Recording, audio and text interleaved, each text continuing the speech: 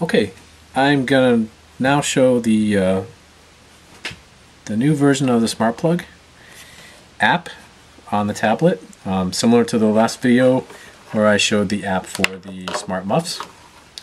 Um, so the first thing you want to do is you can go ahead and plug in the cable and you want to click on the Sensear Utility app version 2 and just like the Smart Muff you want to make sure the Smart Plug is off so there's no LEDs on or blinking. You know that it's off. It does need to be charged. Um, as soon as I plugged it in you see that it it recognized it and it's going to go right to the uh, the device the headset screen. Now important thing to remember is that the smart plug does come in two versions. Um, a basic version with only SENS and two-way radio capability and a full version with short-range FM radio and Bluetooth capability um, so this application will not allow a basic model to be upgraded to a full version. Okay, that's that's a hardware configuration. Uh, but this first device tab displays the device information, the product type, the MFP number. It also shows the currently programmed software versions. Um, and so here is where different firmware versions can be programmed uh, from this tab. So I'll talk briefly about the different firmware versions that you can see. Um, bootloader, that's a that's firmware that runs the programming mode. This is currently 1.0 and it's not currently changeable via the app. The main application, this is the main runtime firmware. This is what the user will experience. It's uh, responsible for all the underlying operations like buttons, audio, etc. The audio image contains all of the audio sounds or sound effects. That's this main application calls this data when it needs to play things like tones, beeps, or other sounds. And then lastly, the configuration profile allows you to configure and customize programmable features. For instance, features that can be turned on or off. Um, so you'll see that on mine it's up to date. So all the text is green. That means everything's up to date. Um, green with an arrow would be showing you firmware on the device is undefined and you need to program update with the latest one on the list. If it's in red, that means your firmware is out of date so you need to download an update to the app first with Wi-Fi connected on your tablet. And if it's red with an arrow, it means it wants you to, to uh, select which ones for download. Now it's important to remember that the firmware will not be applied unless the update headset is selected. So if I change any of these, if any of these were out of date or if I wanted to change the configuration profile, then anything I change won't be updated unless I click update headset. Okay? It also shows you at the top the MFP number, which is the also gives the serial number, uh, the PCA number, the product type. Here is where it would say full or basic.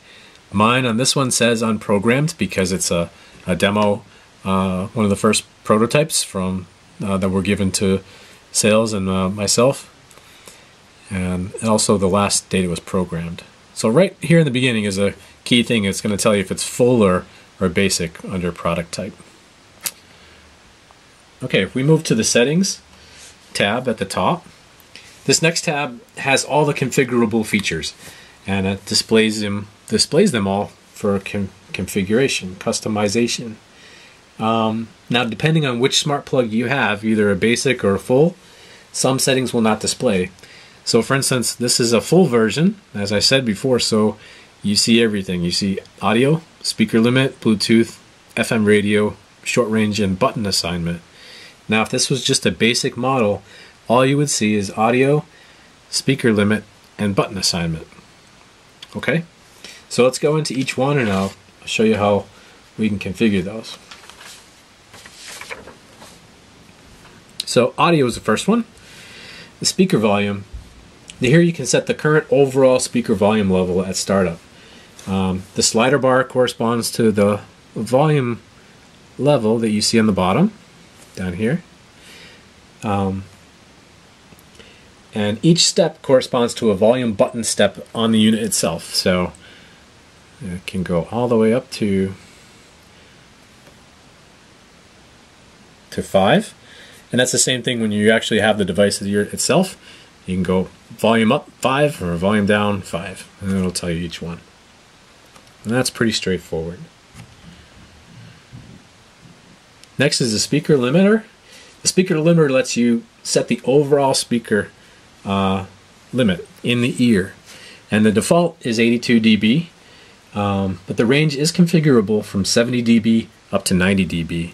And so you do that by just tapping it and enters a scroll menu that you can just uh, scroll up or down. But we're going to leave it set at the default. Okay. Um, this is always enabled. Um, that you, you're not able to actually deselect that. So, and that's 82 dB as a default is the same as with all Sensear products. All right, next is Bluetooth. Um, the Bluetooth option allows you to enable or disable Bluetooth, um, enable or disable the radio push to talk mode, and also set the um, the receive and transmit volumes for Bluetooth. So let's talk about the enable checkbox first. Um, this enables or disables the overall Bluetooth feature. So if you disable it, and now you disconnect your smart plug in to use it, even though it's a full full version, you won't have Bluetooth capability in there. So disabling this takes the it's like a lockout. If you disable it, the feature goes away. So you probably want to have that enabled if if you have a full version that you're getting ready to send to a customer. Um, the enable or disable radio PTT mode. Um, this should always be disabled unless you have a, a radio device with a compatible push to talk protocol. And right now that's only the Kenwood NX5300. Um, otherwise, without that compatibility of the device itself, um, checking it will create a will create an echo uh, in the speaker. Um, so you don't want to have this enabled unless you have that specific um, radio, which right now is the Kenwood NX5300, or later on we'll, we're going to be qualifying hopefully more radios that have push to talk capability on the headset itself. Okay. And I'll talk a little bit more about that in the training of the smart plug. The uh, receive and transmit volumes, this is only for um, Bluetooth calls only. This is not for the um, audio streaming.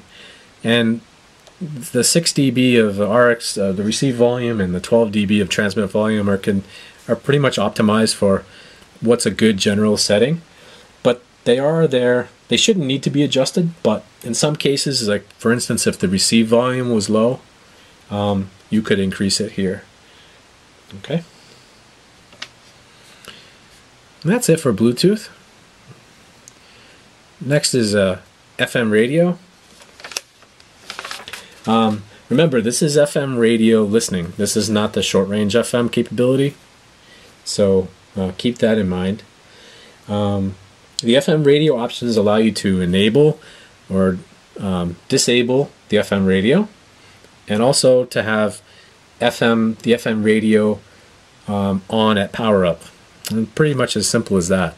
Again, just like with the Bluetooth, if you disable the checkbox of the, the enable here, you will you will lock out the feature of FM radio listening. So you want to always have it enabled, um, probably. Um, On at startup is just like what it sounds. If you check that, and when when it when it comes on, the FM radio will automatically turn on at power up.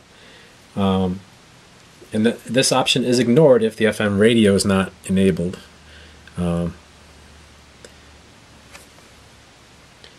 On at startup also remembers the the the on state of the FM radio when it's shut down, so it'll it'll remember that. Another note is that if FM radio on its startup um, will be over overridden if the shortwave on its startup is enabled, and I'm going to talk more about that um, in the next the next tab here. Uh, but that's the FM radio tab.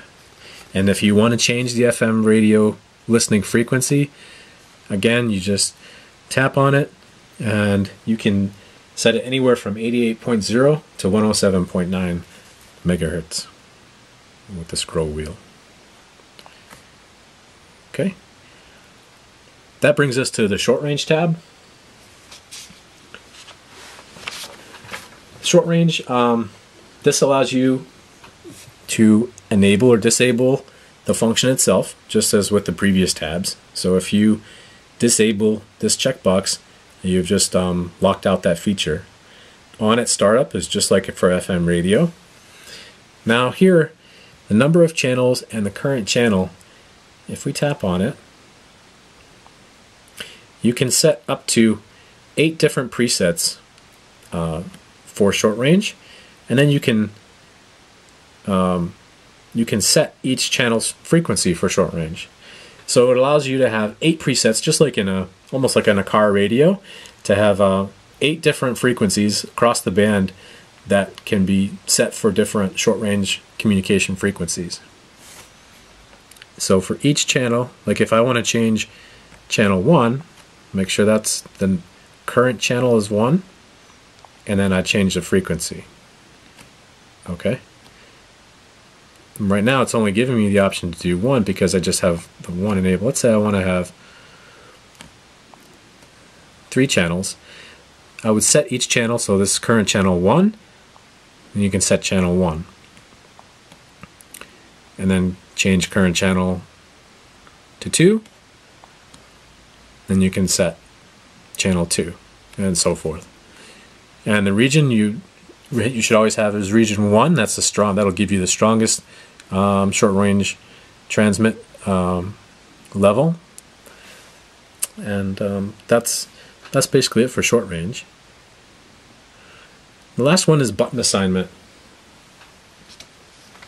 Button assignment um, is just what it sounds like. Um, there are two, the two buttons on the smart plug. With the the top one is inline button one, and the bottom one is inline button two. And top is as if you're looking at it like this. Okay. So tapping on what it says for, you see inline button 1 and inline 2 button, you can set it to make it two-way, short range, or Bluetooth. And you can you can do that for each both button and also the multi-function button, which looks just like it does on the smart muffs. Now the only thing you want to be careful when you're assigning the buttons is you don't want to set the um, the two-way push to talk or short range push to talk on the MFB button for a Bluetooth enabled smart plug. Because for a Bluetooth enabled smart plug on the full version, the MFB button is the handset um, pairing mode button. Okay? Um, but it's pretty self explanatory. Um, you can set it to um, however you want the buttons to be configured. And this is a setting where you do need to save um, you need to hit apply changes here at the bottom to save your changes if you do change any of the button assignments. Um, that's the last um, setting. I'm going to go back to the first screen and just by in closing I'm just going to talk about some things to remember. You need to have Wi-Fi connected for the app to check the cloud and, and that's important to make sure that the update's available to to recognize that there's an update available, you need to be Wi-Fi connected. Um, number two is the tablet downloads the firmware from the cloud to be stored locally on the tablet. So again, it kind of goes back to you need to have make sure you do have a Wi-Fi connection. Okay, and the app uses that locally stored data. Uh, so that again points to the Wi-Fi connection. So all this local data is what's used by the tablet. And to get the, the updated local data, you need to have the Wi-Fi connection. Okay. I hope that was a quick explanation of the the Sensear Utility app V2 version 2. Um, thank you.